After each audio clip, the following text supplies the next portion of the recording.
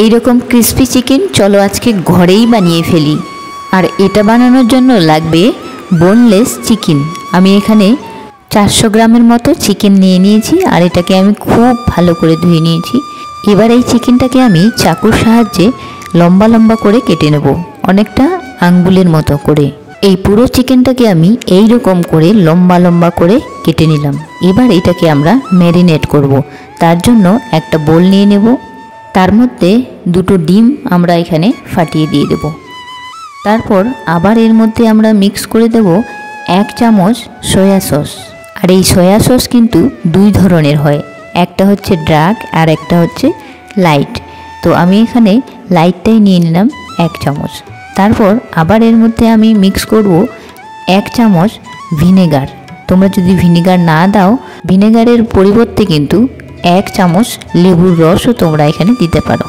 এরপর আমি এর মধ্যে দিয়ে দেব গোলমরিচ বা ব্ল্যাক পেপার আমি সামান্য পরিমাণই দিচ্ছি। তোমরা তোমাদের হিসেব মতো দিতে পারো, এক চামচ বা হাফ চামচ। এবার আমি এই সবগুলোকে সুন্দর করে মিক্স করে নিলাম। তারপর এর মধ্যে আমি দিয়ে দেবো সেই যে লম্বা লম্বা করে কেটে রাখলাম চিকেনগুলো, সেগুলো এর মধ্যে পুরোটাই দিয়ে দেবো। আর এর মধ্যে আমি দিয়ে দেবো কর্নফ্লাওয়ার তারপরে দিয়ে দেবো ময়দা কর্নফ্লাওয়ার দেব দু চামচ আর ময়দা দেব এক চামচ। মানে পরিমাণটা তোমরা সেইভাবেই দেবে। যত ময়দা দেবে, তার ডাবল কর্নফ্লাওয়ার দেবে। তাহলেই কিন্তু হয়ে যাবে। আবারও কিন্তু এই পুরো জিনিসটাকে আমরা দ্বিতীয়বারের মতো মিক্স করব। পুরোটাকে মিক্স করার পর তারপর এটাকে আমরা 10 থেকে পনেরো মিনিটের জন্য রেখে দেব।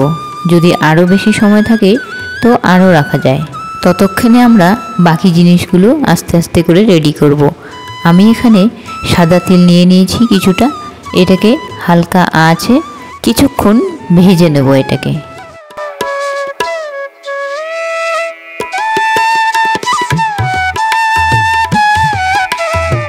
এই তিলটাকে ভেজে সাইডে রেখে দেবো। তারপর আমরা বানিয়ে নেব একটা সস। এখানে আমি দু কাপ মতো জল দিয়েছি। আর এর মধ্যে আমি দিয়ে দিলাম এক চামচ মতো হানি বা মধু। তারপর আবারও আমরা এর মধ্যে এক চামচ দিয়ে দেবো ভিনেগার। দেব অল্প পরিমাণে চিলি ফ্লেক্স।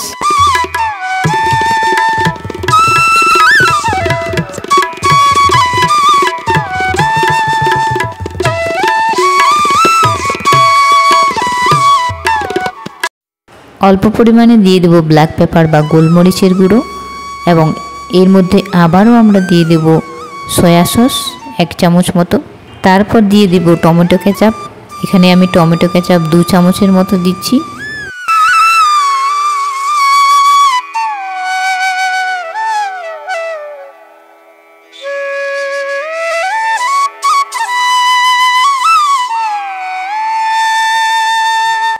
দিয়ে দিচ্ছি অল্প পরিমাণে জিরে গুঁড়ো। তোমরা চাইলে কিন্তু একটা স্পেশাল মশলা বানিয়ে সেটাও দিতে পারো। আমি এই মুহূর্তে এটাই দিচ্ছি, কারণ আমার কাছে এটাই রয়েছে, তাই এটা দিয়েই আজকে আমি কাজ চালিয়ে নেব। এবার এটাকে মিক্স করে, সুন্দর করে এটা সাইডে রেখে দেব। তারপর আমরা চলে যাব। পরের ধাপে আমরা ভেজে নেব চিকেনটাকে। তার জন্য আমি কিন্তু একটা অলরেডি কড়াই বসিয়ে দিয়েছি। এদিকে কড়াইয়ে তেল গরম হয়ে গেছে। এবার আমি সেই চিকেনের টুকরোগুলো একটা একটা করে এই তেলের মধ্যে দিয়ে দেবো। আর এই চিকেনটা ভাজার সময় কিন্তু খেয়াল রাখতে হবে, একটার গায়ে যেন আরেকটা না লেগে যায়। এই কাজটা একটু ধৈর্য নিয়ে করতে হবে। গ্যাসটা মিডিয়াম আছে, এই পুরো চিকেনটাকে আস্তে আস্তে করে ভেজে নিতে হবে। আর ইতিমধ্যে কিন্তু আমার কিছু চিকেন ফ্রাই করা হয়ে গেছে। দেখো এই রকম হয়েছে। ফ্রাই করার পর এটাকে আমি একটু ভেঙে দেখাচ্ছি, ভিতরটা কেমন হয়েছে।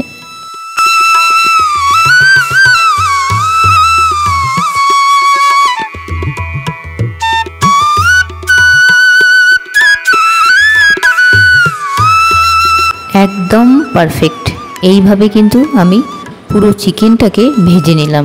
পুরো চিকেনটা আমার ভেজে নেওয়া হয়ে গেল। এবার আমি যাব পরের ধাপে।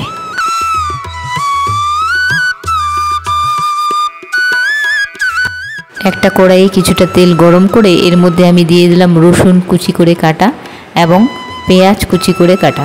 পেঁয়াজটা কিন্তু তোমরা নাও দিতে পারো। যদি চাও পেঁয়াজটা দেবে না, তাহলে কিন্তু এটাকে তোমরা স্কিপ করতে পারো।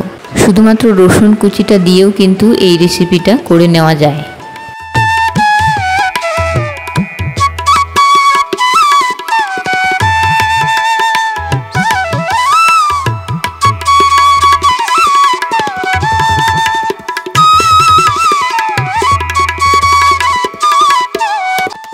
কাঁচা গন্ধটা চলে যাওয়া পর্যন্ত এটাকে কিন্তু ভেজে নেব, নিয়ে আমরা যে সেই সসটা বানিয়ে রেখেছি, সেটা এখানে দিয়ে দেব। আর এই পর্যন্ত কিন্তু আমি এখনও লবণ দিইনি। তোমরা খেয়াল করেছ হয়তো? আচ্ছা এর মধ্যে আমি আরও একটা জিনিস দেব, সেটা হচ্ছে রেড চিলি সস। এটা কিন্তু ভীষণ ঝাল বুঝে সুজে দিতে হবে। তোমরা যেই রকম ঝাল খাবে, সেইভাবে দিও।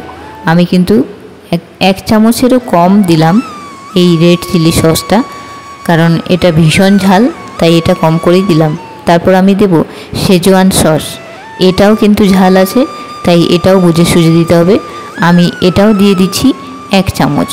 যেটা বলছিলাম লবণের কথাটা, এই সব সসগুলোতে কিন্তু লবণ থাকে, তাই আমি লবণ খুব একটা দিইনি।